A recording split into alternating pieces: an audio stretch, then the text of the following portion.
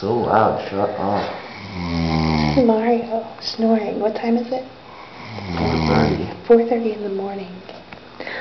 This what happens to youth leaders on retreats.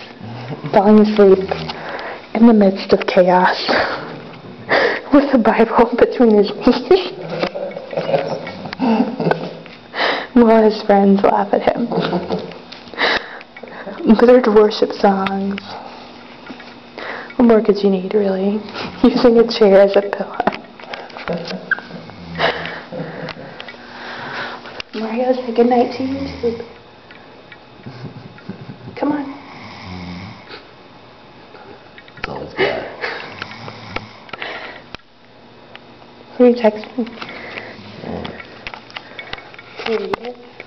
It's no one. Oh, that was a good one. Good night, Mario.